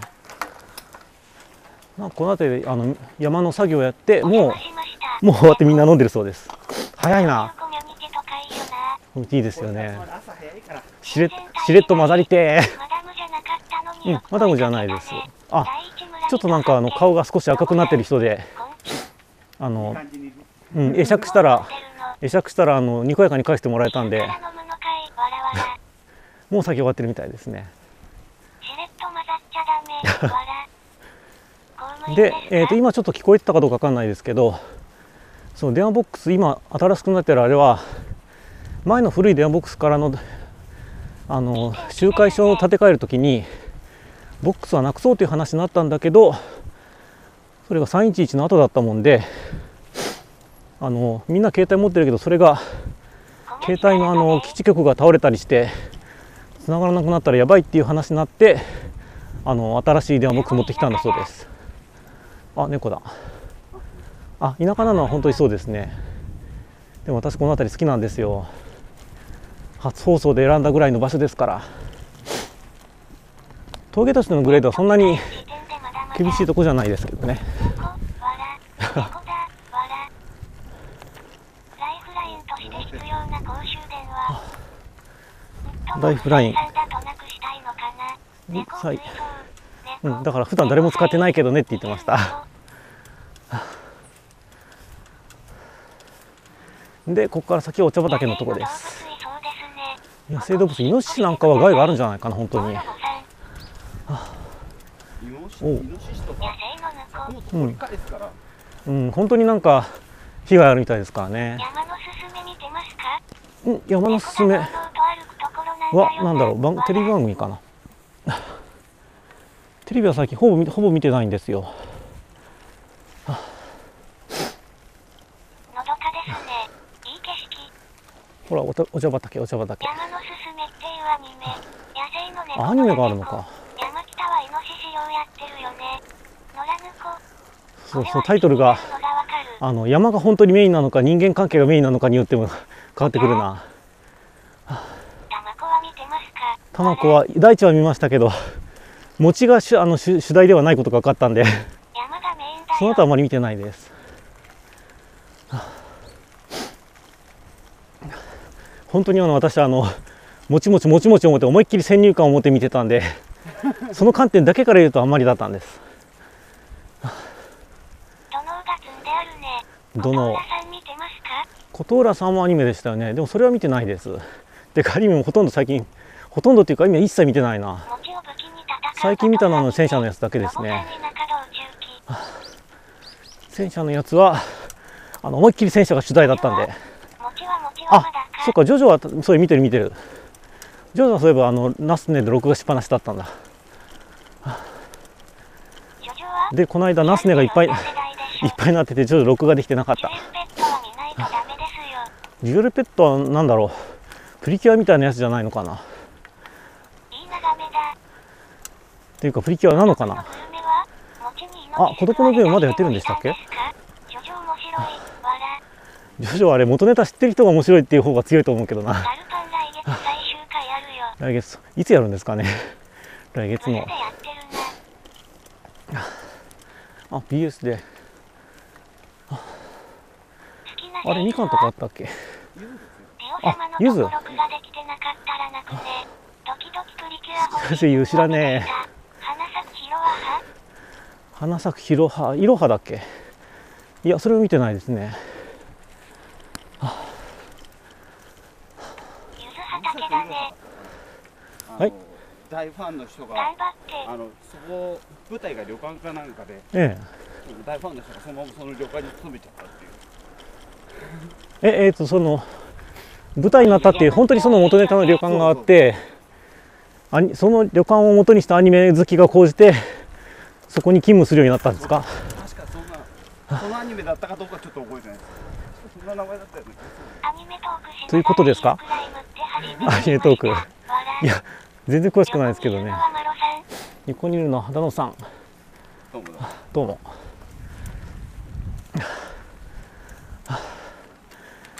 どうもって言うとなんか本当になんかあの流行から遅れて忍者スレイヤーのことを知ってしまったんでついそのネタを話したくなる。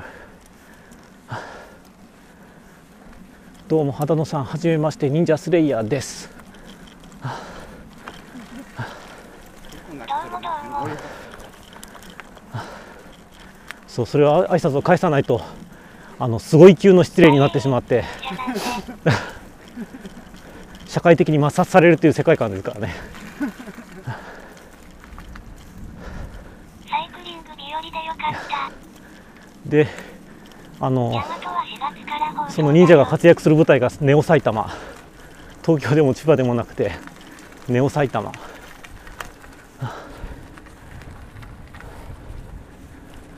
ああまだ電波来てますね。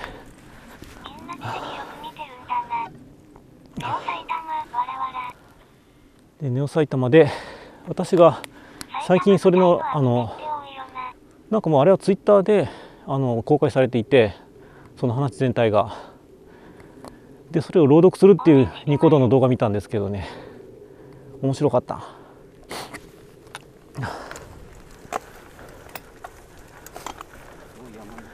でネオ埼玉の郊外ではっていうこの景色見ながら何言ってんだろうな。ネオ埼玉の郊外ではあのそう千葉シティみたいな世界観に近いのかもしれないけどだいぶあの間違った日本観をわざと押し出してる感じですね。であのエリートのエリート会社員であるところのあの勝ち組のサラリーマンがですねそれ今全部カタカナなんですけどね。勝ち組のサラリーマンがそのネオ埼玉の郊外で増殖してしまったあのバイオスモトリっていうその相撲取りがモチーフの生き物を火炎放射器とショットガンで駆り出すようなアメリカ人らしいけどあれ本当は日本人じゃないかってぐらいめ変に変なとこでリアルなんですよねそういえばマロさん見かけないけど元気なんですかマロさんツイッターでたまに書いてますね。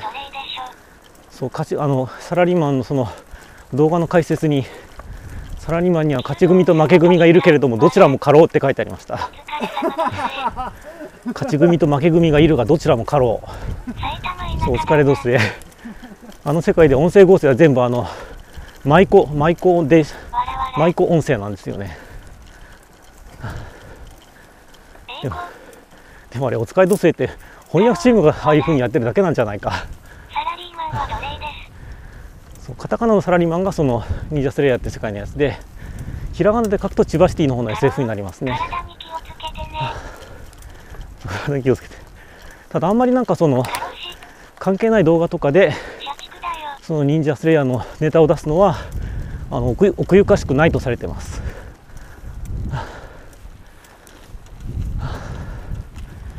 私はつい最近して言いたくてしょうがないから言ってるだけです。あ虫沢古道を守る会って前からあったかな。前からあの看板あったっけ。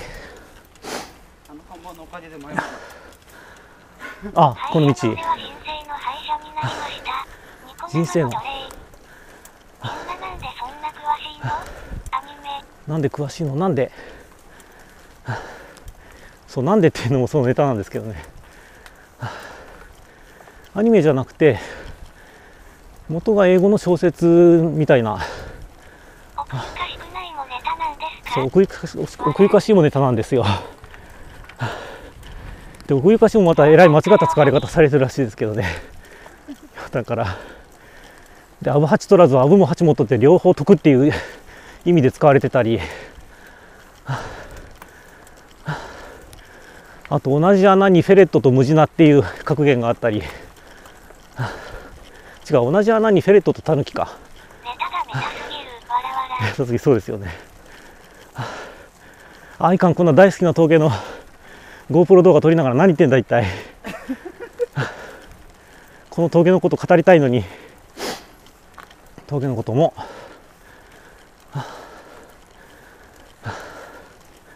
いかんなこれじゃ。鎖峠動画として堂々と YouTube に出出しにくくなる。あい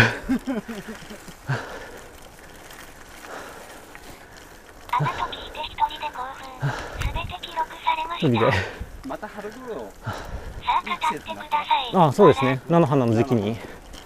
また取り来よ動画的には。うそうですね。今よりはいいと思います。華やかです。しでもあの冬のなんか枯れた感じもちょっといいですよね。はいそれはそれでいいですよね、あと秋のあの柿がいっぱいになってる。なんかさあそれあったかな。私は全部読んでるわけじゃなくて。しちゃう時みたいな。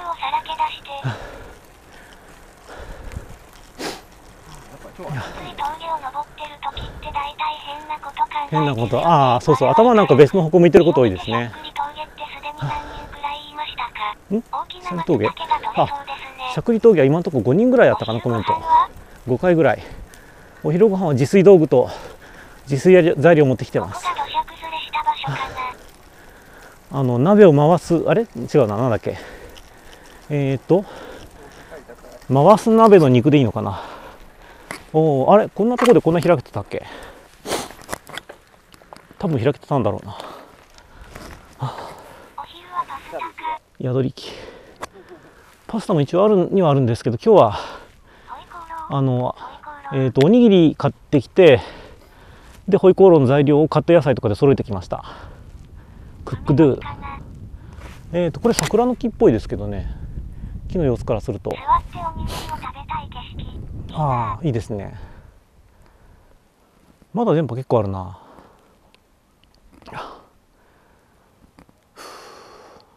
で向こうの方にあの上の黄色っぽく見えてるのがさっき通ってきたゴルフ場かな。あれはミクルベなんとかっていうようなゴルフ場なんですかね。名前知らない。今想像で言っただけです。ミクルメだから。ミクルベフーあパラグライダーがー。え？あ本当だ。これがサイバーサイクルパラグの自然に休憩を入れる実でいから実。桜がそうそうあの術のことはカタこカナで実って書きます。あの実って言ってますねあの忍者スレイヤーの中では。さっきまで忍者スレイヤーの話してたとは思えない、話してたことはそうですね。あの動画とかであの突然技前とか出てくるのが意味が分かんなかったのがようやく分かった。あのスペランカーのマット動画ばっかり作ってる人のその動画のた最新の最近のやつにその忍者スレイヤーネタがあったんで初めて知りました。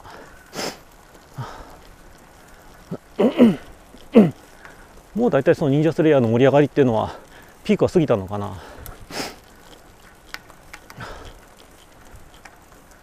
まだたあの書籍はこれから出るみたいだけど。あここも確か景色があったんじゃなかったっけ？まあ一緒か山の方が白いああ白いですね。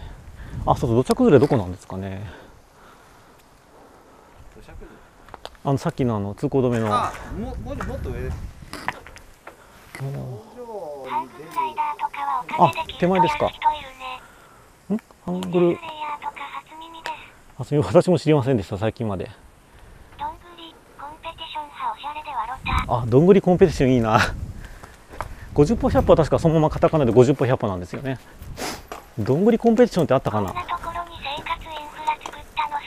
どんぐりの背比べ。あとあの茶飯インシデントっていう表現がありますね。日常日常茶飯事のこと。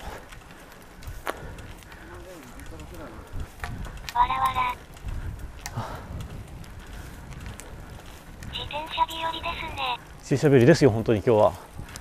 今日も出てきてよかった朝さえ乗り切ればこんな感じですよ。そうですね。昨日は寒かったけど朝が出れないんだ。土木技術者は偉大である。面白いなうん忍者スレイヤーわらわら忍者スレイヤーあの息を見ればビキのあの用語のとこ見ると大体漢字が。つかめると思います。あ工房エラーズですね工房も筆のエラーズあそう何が元か全然わかんないことわざもありますね。何だったっけ？ことわざの一つとしてたくさん打つと当たりやすいはあれかな。下手な鉄砲なのかな。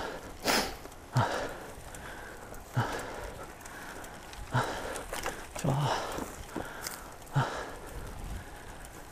注意は1秒。後遺症が4沼で。後遺症が。だから気をつけてね。なんかありますね。それもなんか聞いた。聞いた。み読んだのか杉とヒノキの林かな。末法の次多いですね。そうそう末法カタカナの末法ですね。あ。電気もそうですね確かに。まあここは峠越えたらすぐ向こう側に 集落があるのであれまだ電波来てるか。もうそろそろ切れると思うけどな。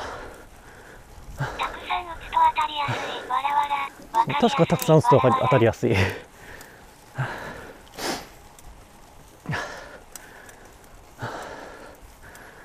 あと何だったっけ？あのことわざなのかな？あれは。囲んで警棒で叩くっていう。言葉もあります。何もよくわからない。花粉症の俺には地獄だな。花粉症のあ今どうだろう？まだまだ風に乗ってないんじゃないですかね。警棒で。あそうそうあのことわざもう一個あったんだ。あの弱ってきたらさらに棒で叩くっていうあのことわざもありましたね。弱ってきたらさらに棒で叩く。多分泣きっ面に蜂とかの意味だろうっていう。節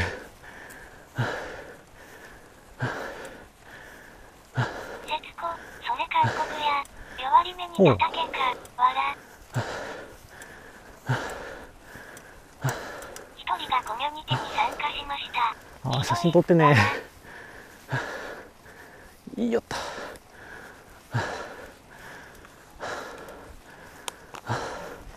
でもまだ電波来てますね。この先が。ヤフ カラボはあったかな。私は知らないだけかもわらわら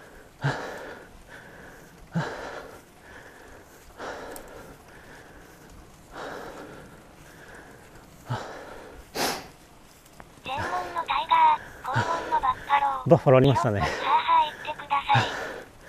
色っぽくにはできるだけあの母音をたくさん含ませながら母言え母言えばいいんですけどね。塵も積もればマウンテンはあ。とかこんな感じですよね。はあ。っていうとそうでもない。はあ。私はこの母いう声のあの母音色っぽい理論は結構当たってると思ってます自分で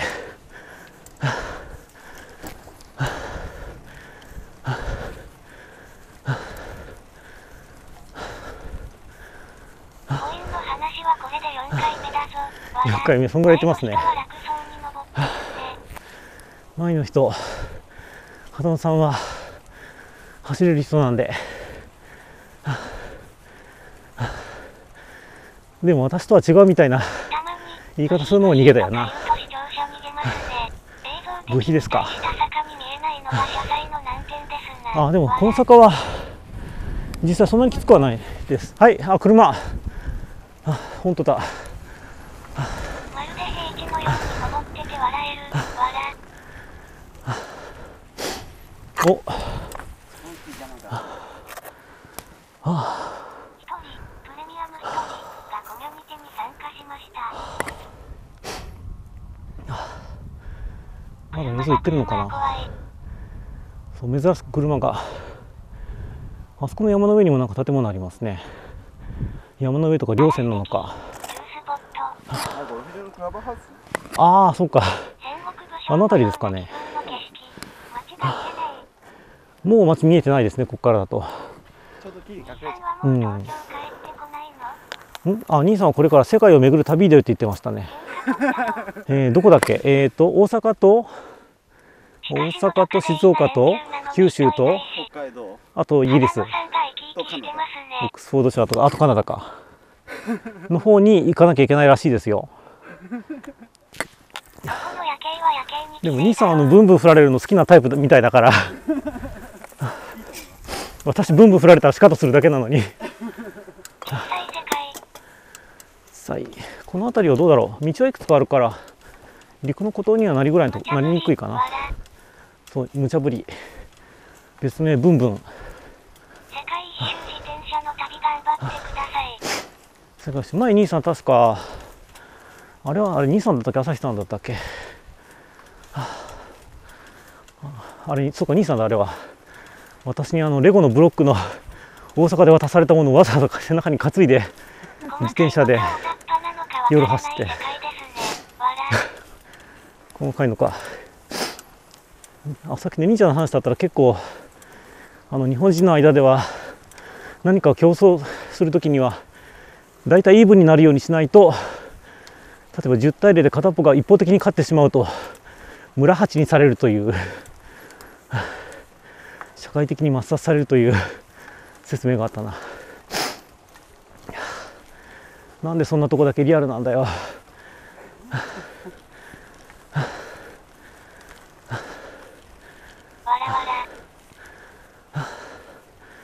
まだ少なくともコメントは聞こえてるな。映像はもう止まってんの？映像はどうでしょうかね。1分に1コマぐらいいってるのかもしれない。道が交配してないから交通量あるんだ。ビレッジ交通量あその逆かもしれないですねある程度使われてるから。あでもどっちが先ってことはないか。あ2秒かなり来てますね。そう大雑把に合ってるような気がする。小室直樹誰だろう。映像来てるよ映像来てるすごいな峠まで行けるかなもしかして。まさか久峠久峠ホーマーエリアにななったのかな。とか言ったら大体フラグだな。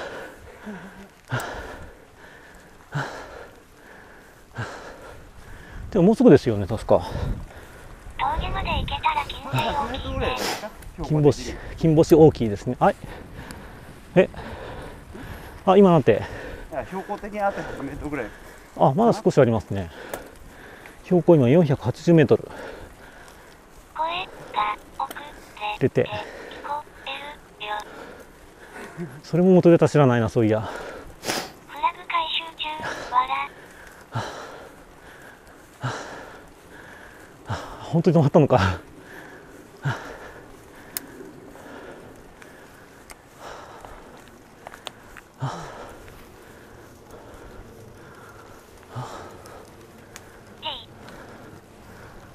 T D T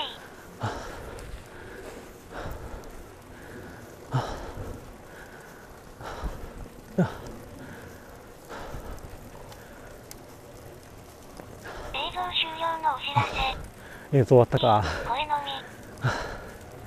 じゃあ声で実況。を杉林なんかを走ってます。杉林の中にいる。この放送が声のみの配信とさせてもらいます。がって。ここですよ崖崩れポイントえこれ？あの上まで。一番上まで。よっと。ああ本当だええ。じゃあ一遍完全に埋まったんですかね？この感じだと。今崖崩れの後らしいとこ来てます。相当上の方までブルーシートがかぶせてあるんで。崩れたての頃はもう本当に通行止めだ通れなかったんでしょうね。まあ道が落とされなくてよかった。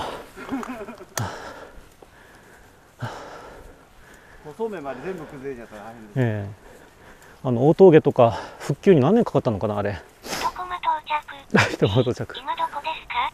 これだけなら今シャドウ20%ぐらい今久峠っていう峠の近くです。都会をちゃんに火薬とかいう。はあそうかこれスースーラオリが全部まとめて被害を受けたんだ。どんな感じなんだ？わどんな感じ？えっ、と田舎っぽい感じかな。山の中っぽい感じかな。崖崩れであのつづら折りのところ横断しながら落ちたらしいので動いた。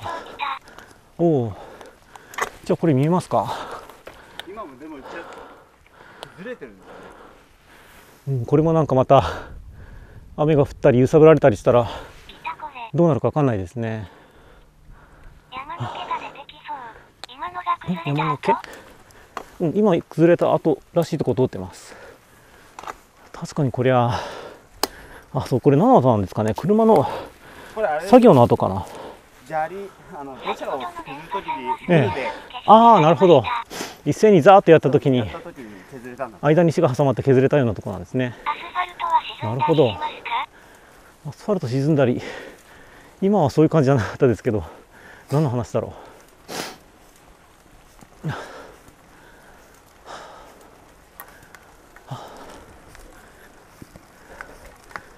このこれでつづら折りが大体終わってもうちょっとニュッといったところが峠ですね。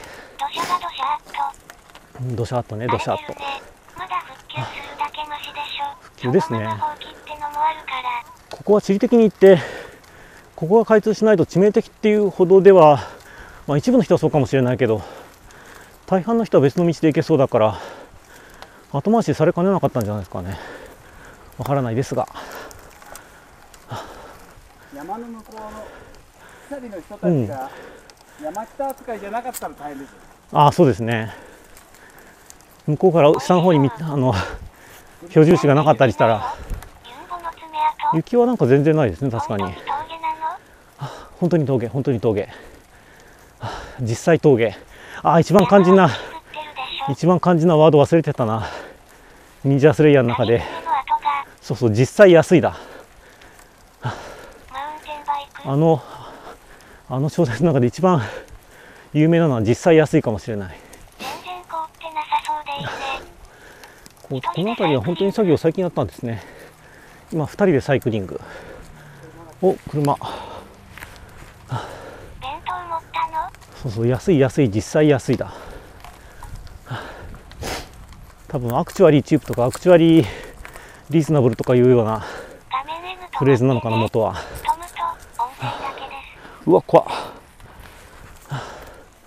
音声だけですね。高松文庫に降りたらまた電波あったはずなので完全に切れたらもうしばらくあタイミング的にやばいな。延長の時間あたりで電波切れそうだ。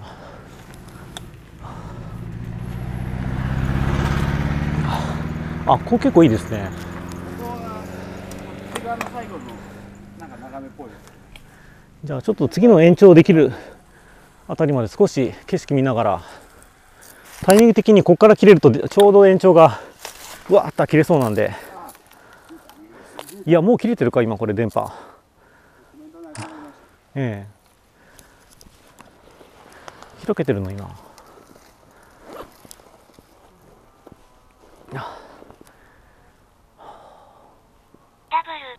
あコメントが来てる。たまに。じゃあまだ延長できるかなここで。えー、っとまだちょっとお時間あるな。今上り速度がですね60とか30とかそんな感じ。滑らかに行くためには300ぐらいなきゃいけない。落ち葉で焚き火。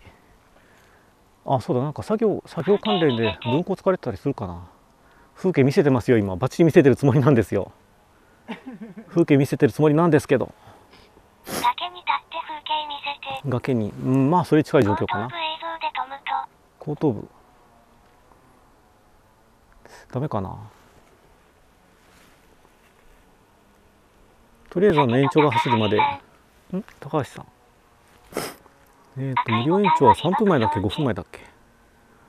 ん？赤いボタン？赤いボタン？あ本当だ。自爆装置ついてる。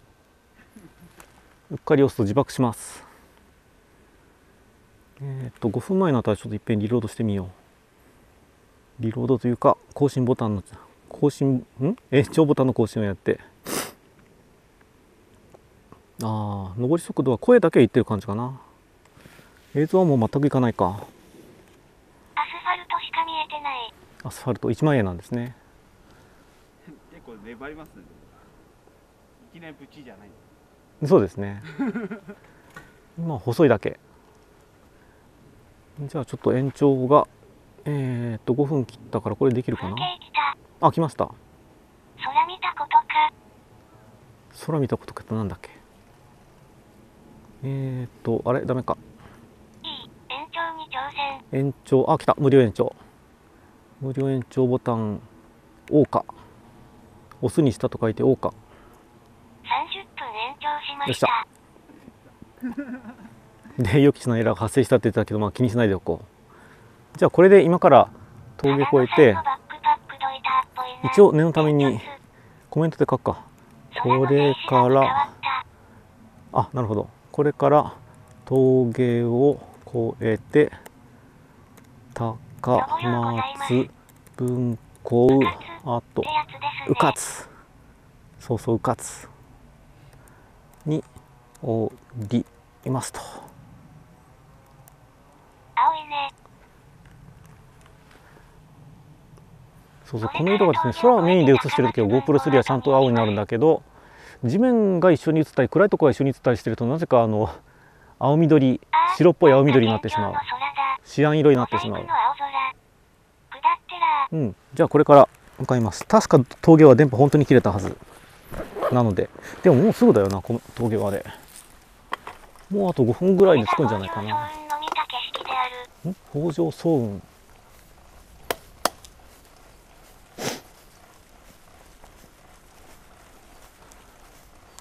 いい景色。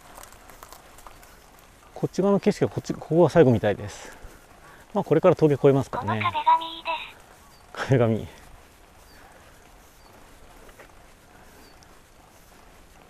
ランチタイムは終わりましたか？ランチタイムはこれからです。ああ1時半に昼昼飯作っているだろうっていうのは大体当たるなこれだと。そうですね。もうすぐ1時。ですね。1時には間に合わなかったけど。それでも上がってく。るですね。30メートルてかこの辺り随分なんか刈られた木が多いですね。この辺り全部いっぺんやったのかな。これは人っぽいで2週間前に行った時ちょっとやってましたよあこれの作業。もうちょっと下の方でした。ああなんか竹が随分刈られてますね。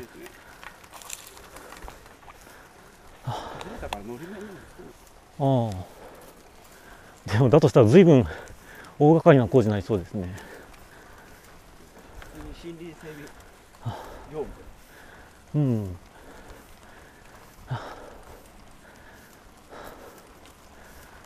お。また車だ。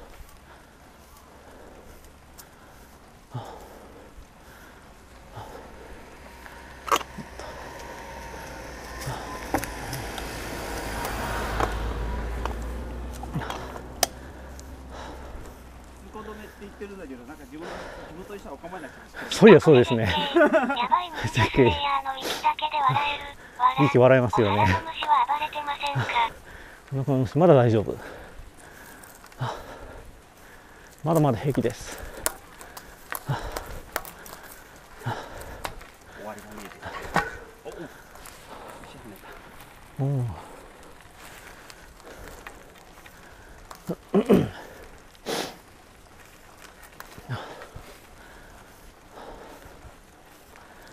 あちょっと高いですですね。この間そうここ真っ白ですあ霜柱で。土が出てるところがみんな壁が。ああ。そのこのぐらいの時間でも。このぐらいの時間でえじゃないざ踊りだってわらわらえじゃないぞ踊りはえじゃない小踊りのことですね。えじゃないざ15分後にパンクの予定が入りました。入るか。やった